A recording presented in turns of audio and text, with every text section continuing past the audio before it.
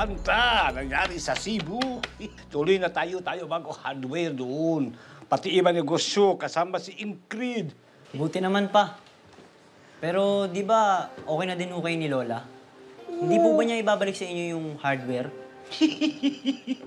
Kasi si Lola may iba-iba isip yan.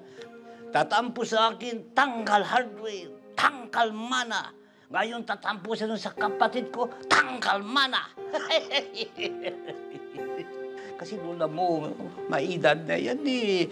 Minsan, parang luwag tornilyo.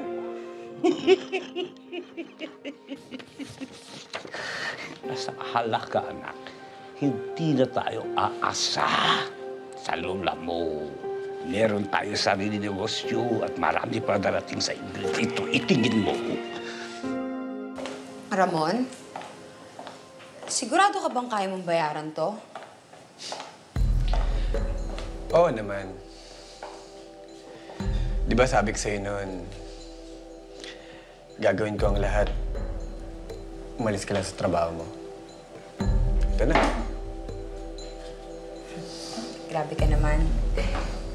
Nung kailan binili mo yung buong araw ko para hindi na ako matake home ng customer. Ngayon naman talagang tuluyan mo na ako nilayo sa trabaho ko. Parang type na type maging savior ah. Di ba sabi ko naman sa'yo, mahal kita. Ngayon, aalagaan naman kita.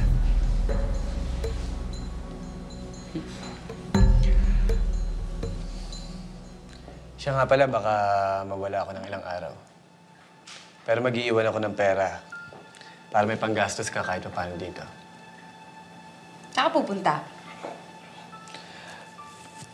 Um, may isang malaking business trip lang ako. Business trip, business trip ka pa nalalaman ah. Kaya siguro ayaw mo sabihin sa akin kung anong klase business yan dahil monkey business yan, no? Hindi ah. Business trip na yung mukha mo. Gutom lang yan. Kumain ka na ba? May pagkain ba dito?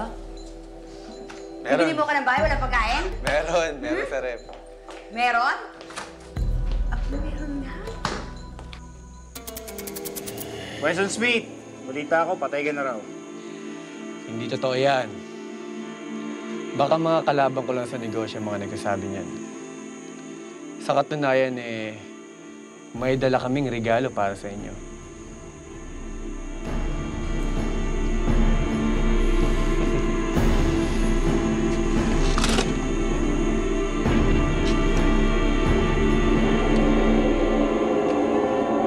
Jacket mo ah.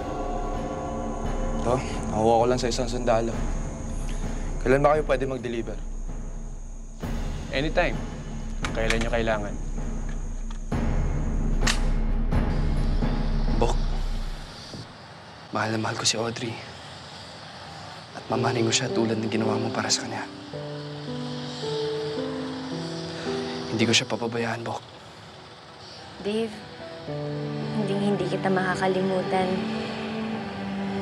Maraming maraming salamat sa pagmamahal na binigay mo sa akin. Sana maging masaya ka para sa amin ni JR.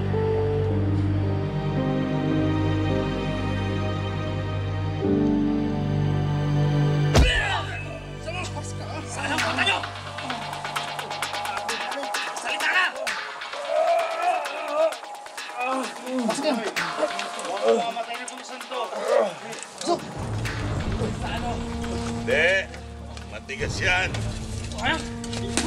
Ang kana ka ng pagtakas ang ginawa niyan eh. Kaya bantayan niyo mabuti. Baka magtagumpay. Nanay.